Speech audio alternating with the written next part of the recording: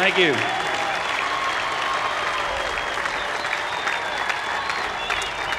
Thank you. This is indeed a special day, and I'm privileged to be here.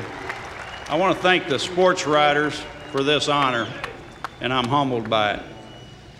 And I'd like to say thank you to the guys that I faced over my career, which some of them are here and sitting on this stage today, and I can honestly say that I'm enjoying seeing them now more than I ever have.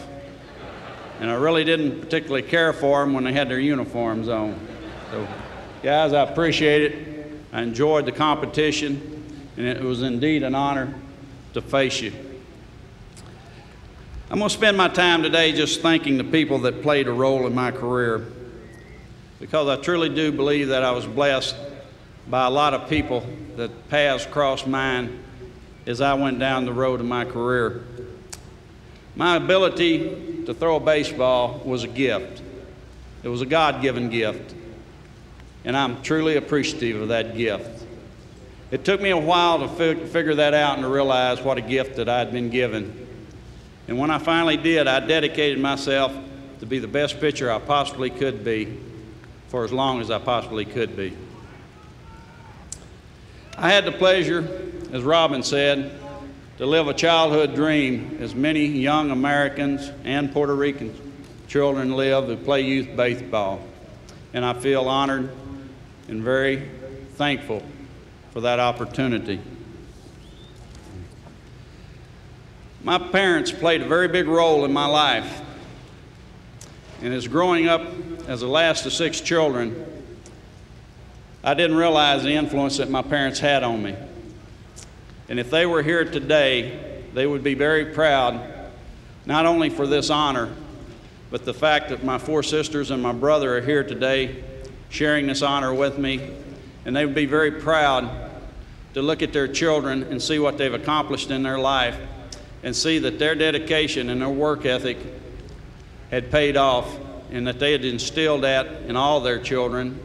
And I really feel like that they have passed that on to their children, and hopefully it'll continue to be passed on to generations to come.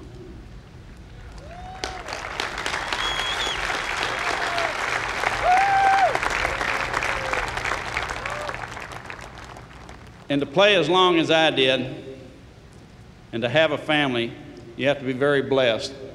And I was with my wife, Ruth. Ruth, I appreciate the job you did.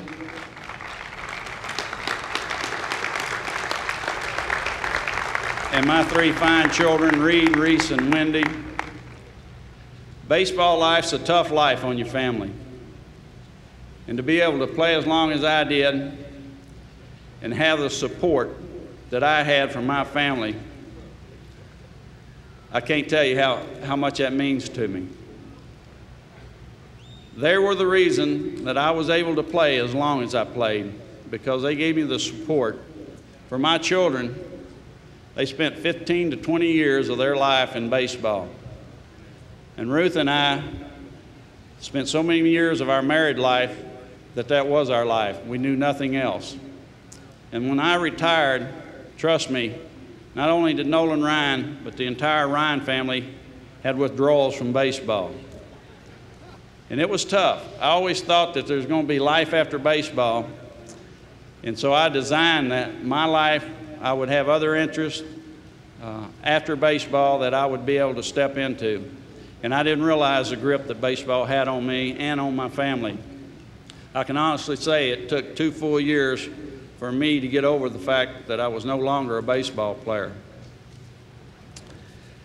I would also like to honor or recognize, excuse me, uh, three people that are here today in the audience that were involved in my youth Glenn York, Aubrey Horner, and Jim Watson. They were coaches that I had in junior high and high school, and I appreciate them making the effort to be here today.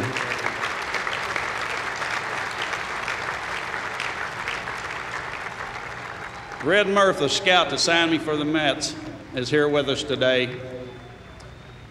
And I'm proud to say that Red is a friend and that Red took more of an interest in me at an early age. He thought when he saw me at 6'2 and 140, he wasn't discouraged by my belt and by, by the way I threw the baseball, as many other scouts were. And I appreciate the fact that Red uh, spent so much time with me and worked to help me become a better pitcher. Thank you, Red.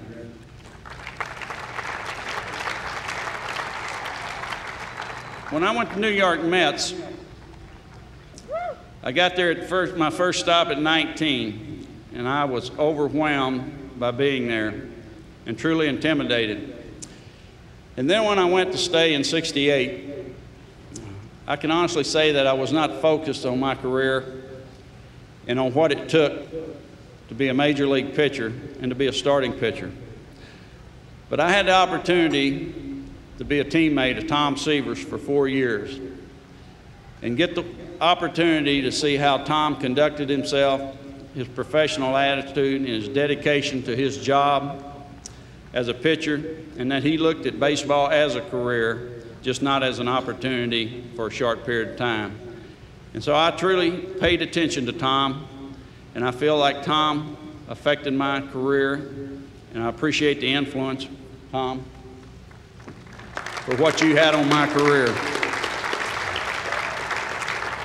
Jerry Grote's in the audience today, and Jerry was a roommate of mine for four years, or I was his roommate for four years.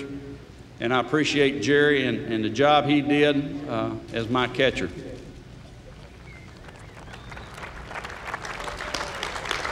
When I got to, when I got traded to the California Angels, I really wasn't that excited about going to the Angels because it meant changing leagues and also a whole new set of teammates. But shortly after I got there, I realized that it was one of the best things that ever happened to me. I like to refer to my years with the Angels as the foundation of my career. And while I was there, I had the opportunity to develop friendships with three very unique people. I still think that Gene Autry is the best owner that I ever played for, and I was proud to be able to say that Gene and I were friends. Gene was a Gene loved the game of baseball, and every player that played for Gene truly admired Gene. He would come into the clubhouse, he would sit down and visit with you. If you could get him to tell stories about banking movies and going to the rodeos and the things that he did, before long you'd turn around and the whole team would be gathered around him because that's the way they felt about him. Also, when I went to the Angels, Tom Morgan was a pitching coach. And Tom Morgan took Nolan Ryan on as a special project. And I truly appreciated the effort that Tom gave me and the fact that he wasn't going to allow me to stumble and fall. And Tom, if Tom was here today, I'd walk up to him tell him that was one of the best things that ever happened to me. And then we had Jimmy Reese, a really close friend of mine, who I'm proud to say that we named our second son Reese after because that's how much he meant to us. And we spent a lot of time in those days on the road, and I really feel like that he helped me as far as my conditioning program because of the hours and hours that I would spend with him chasing fungos and having him hit me ground balls. I can't honestly say that he improved me as a fielder, but I was in better shape. Also, Jeff Torborg's here today, who caught my first no hitter. Jeff, I appreciate it. Our years with the Angels were great, and I truly enjoy you as a friend. When I went to Houston as a free agent, I really felt like that those years in Houston was a sta- had a very stabilizing effect on my career and my family because it gave us an opportunity to live in Texas for nine years at home, where the kids did not have to be uprooted from one school to the ex, next and to have two households. So I truly am thankful for John McMullen for giving me an opportunity to play for the Houston Astros for nine years. And when I went to Houston, they had a conditioning coach by the name of Gene Coleman. And that was the first time that I'd gone to an organization that had a program with a weight room and designed specifically for pitchers. And I feel like that through Gene Coleman that I learned more about conditioning and helped learn about the aging process and how you could slow it down, and I feel like that that's why I was able to pitch as long as I did. And also, I have a very special friend that participated in that ownership by the name of Don Sanders. And Don, I appreciate your friendship. You played a role not only with myself, but many of the Astros and the Astro families by making it enjoyable and fun to be a Houston Astro. And so many of us would take our children on the road trips, and Don would always be there with his children, and we would find fun things to do and made tough situations much better for us and our family. Don, I appreciate that.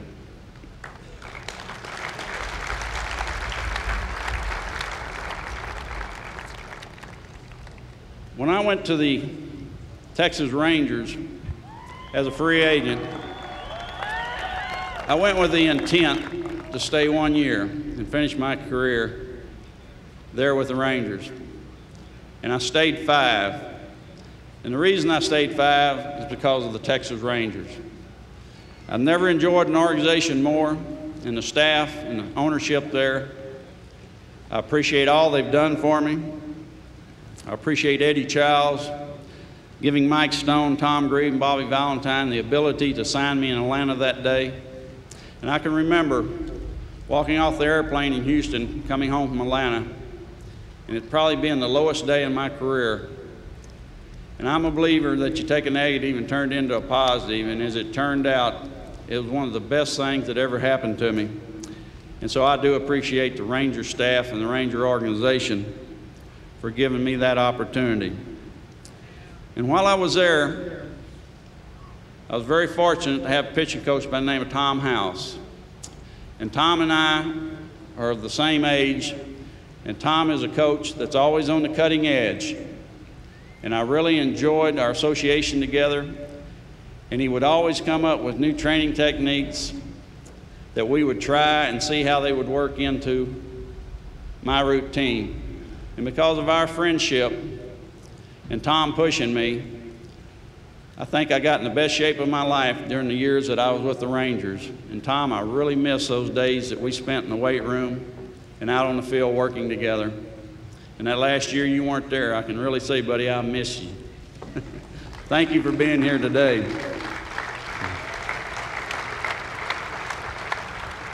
And there's other people that I came in contact with in my life on my baseball career that necessarily weren't on the playing field or in uniform. Dick Moss, my agent. Dick became my agent in 19, 1979 when I signed my contract to Houston Astros.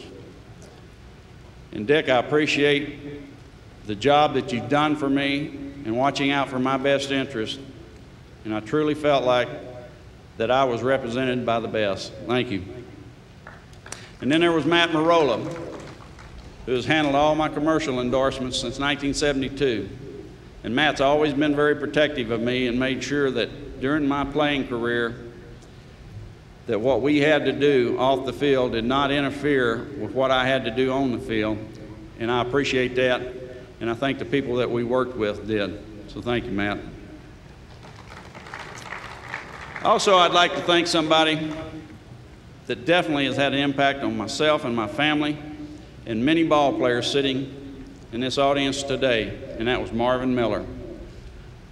I came into the game when I broke into the major leagues, the minimum salary was $7,000. And I'd have to go home in the wintertime and get a job. In the first year I was in the big leagues, the job I had was that I worked at a service station pumping gas from 3 o'clock to 9 o'clock and, and closing the service station. So Ruth and I could live through the winter until baseball season started. She worked in the bookstore at the college. And because of Marvin's efforts and people in baseball, we brought that level up to where the players weren't put in that situation. And Marvin, I appreciate the job that you've done and the impact that it's had on my family. Thank you. There's a lot of my teammates here today, and I appreciate them being here, making the effort to be here. And when I see each and every one of them, I always remember something that happened during our careers together. And I do appreciate y'all being there and the support that you gave me during those years. And last but not least are the fans. I feel very fortunate that I played for the four organizations I did. I played on both coasts, and I got the opportunity to stay in Texas for 14 years. And I can say I was truly blessed by the fans and the support that they gave me, and I do appreciate that. And that's what makes this a great game, is the support and the commitment that the fans give the game. And I may be gone, but I won't forget you. And I appreciate all those times that you supported me over the 27 years that I played in my family. Thank you.